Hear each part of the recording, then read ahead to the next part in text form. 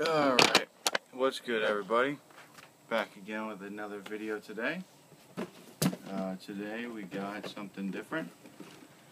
KD6 box, first pair of KDs, and um, he finally got his own box, which is pretty dope box, not gonna lie.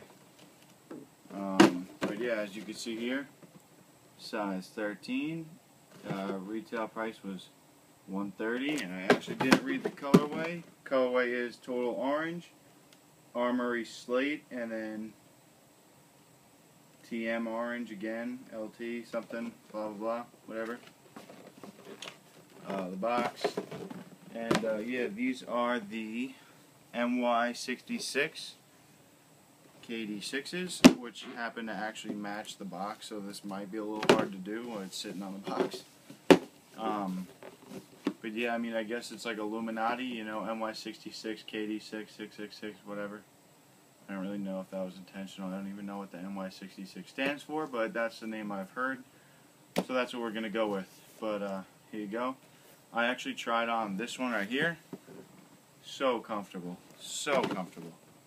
Um, but as you can see right here, you got your Armory, Armory Slate uh, swoosh around the toe to the side. Uh, you got your uh, total orange on the toe, around the side to the back, which is kind of like a lightning bolt, and then it switches to that darker orange color with a uh, Armory Slate check back here. Oh, I almost forgot. KD logo right there is like texture, which is pretty freaking cool. Um, you got your orange laces. Uh, and then you have your tongue, which I'll show you on this shoe since these are untied. You know, you have your uh, fold over tongue, which is pretty cool. I like that. It's definitely something different. I didn't think I was gonna like it at first, but uh, after I tried them on, I mean, it wasn't wasn't too bad. I mean, you got your uh, air unit back there, and then uh, you got your pretty crazy uh, outsole with uh, the uh, armory slate, then the total orange, and then the darker orange, which on the bottom kind of looks red. This box out of here and then you got your uh, KD6 uh, little KD logo with the hologram on the bottom, which is pretty cool.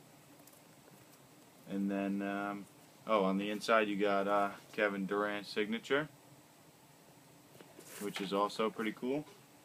And um, let me see if I could throw one on feet real quick, or just one of them, just so you guys can get an idea how they look my room's a little on the messy side. You're going to have to excuse me. But uh, just show you how it looks on feet so you get an idea. Because I definitely wanted to know what they look like on feet when I got them. Um, but yeah, that's basically how they look. They're a little narrow around like this part right here. It's a little narrow up in here. Um, but it's definitely comfortable give you a uh, front view and an inside view. And then the uh, outside view again. But uh, yeah that's basically how they uh, how, how it looks on feet. Definitely uh, definitely nice shoe. I would definitely say true to size. Like I'm a size 13 obviously it's my true size.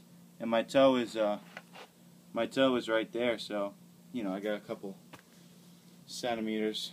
But uh, definitely fits true to size like I said, it's just a little narrow, so if you have a wider foot, you might want to go a half size up.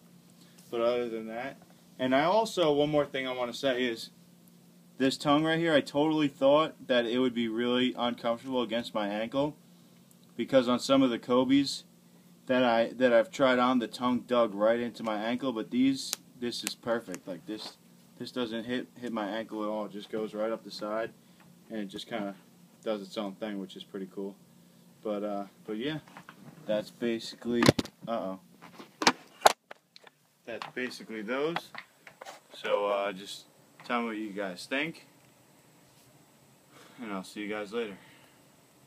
Peace.